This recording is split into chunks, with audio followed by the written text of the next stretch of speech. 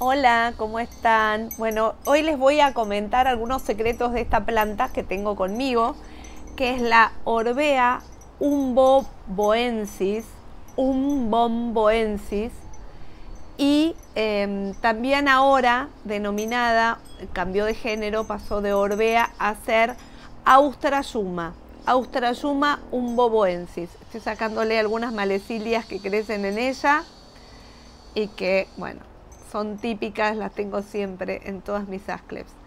Bueno, ¿por qué voy a hablar de esta orbea?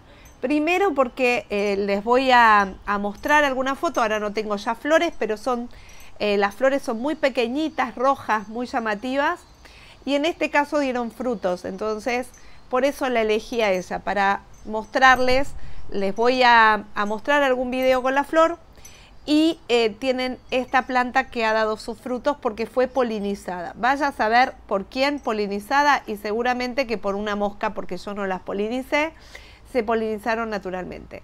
Estos cuernitos que vemos acá, que en este caso fíjense que es un cuernito solo, ¿sí? porque este abortó el que está al lado chiquitito, y en estos otros casos dos cuernitos, se llaman folículos, son los frutos de las ascleps.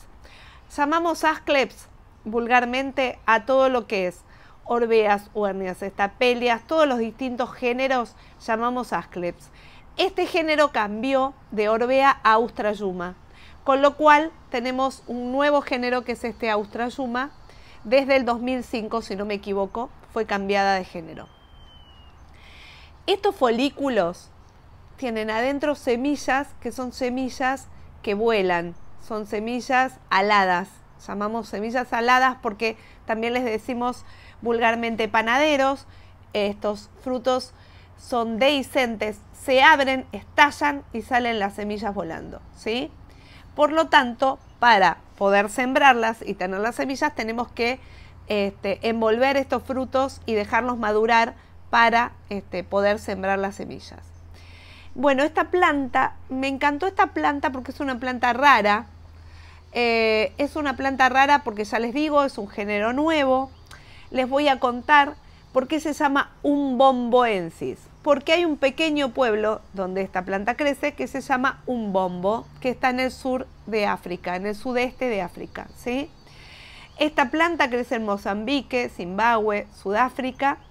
Crece sobre rocas graníticas y suelos que se denominan los sandstones, que quiere decir san es arena, stone es este, suelos arenosos graníticos y son suelos que tienen mucho silicio. Yo les hablé del silicio, les dije que es muy importante ponerle silicio a nuestro sustrato porque el silicio además favorece que no lo ataquen plagas, enfermedades, etcétera. Bueno, y además crecen en ese tipo de suelos, con lo cual tengámoslo en cuenta. ¿Qué significa un bombo? Un bombo es eh, proviene del zulú, de la lengua zulú, que, significa, viene de la palabra un bombo alta cresta de la montaña, ¿sí? O sea, crecen en la montaña de Lebombo. Em, ¿Qué más tengo para decirles? Del Austrayuma crece en afloramientos rocosos, les conté, en este tipo de suelos, en grietas, en colinas, eh, a veces en áreas de filtración húmeda, pero de suelos muy eh, poco profundos, etcétera, etcétera. a las asclep las denominamos muchos, en muchas bibliografías las van a encontrar como las orquídeas de las suculentas. ¿sí? ¿Por qué? Porque tienen unas flores preciosas, magníficas. Entonces em, son lo más parecido a las flores de las orquídeas. Austrayuma solamente ese género tiene dos especies, ¿sí? Es biespecífico, solo dos especies. Una es la umbomboensis, que les acabo de contar, y la otra es la perchi, que crece solamente en Namibia. Son plantas rizomatosas, no muy altas, no crecen más que esto. Este, y bueno, em, yo las cultivo con el sustrato que uso para todas mis ascleps, crecen muy bien. Hay que protegerlas del frío porque como les conté, son plantas eh, semitropicales que crecen en lugares montañosos, con los cuales, montañosos y cálidos, con los cuales hay que tener en cuenta mucho, tener mucho cuidado en el invierno, que la planta no pase demasiado frío y que no le agarre la lluvia a la intemperie, ¿sí? Porque ahí sí se enferman y se mueren. Todo lo demás ahora están súper activas, hay que regarlas mucho en verano, que chorree mucho, eh, bueno, porque y favorecer la floración, porque florecen muchas especies todo el verano. Esta ya terminó su floración, ahora estoy esperando los frutos. Próximamente vamos a hacer en, en nuestro YouTube un taller de siembra de ascleps.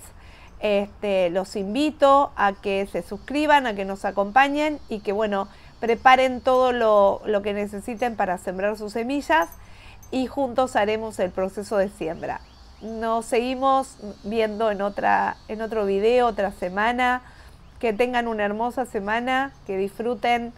Este, bueno, todos los que estamos en el sur del verano, los que están en el norte, en el hemisferio norte del invierno, que no tengamos inviernos eh, tan rudos ni veranos tan rudos y, bueno, que sigamos adelante con nuestro amor por las plantas.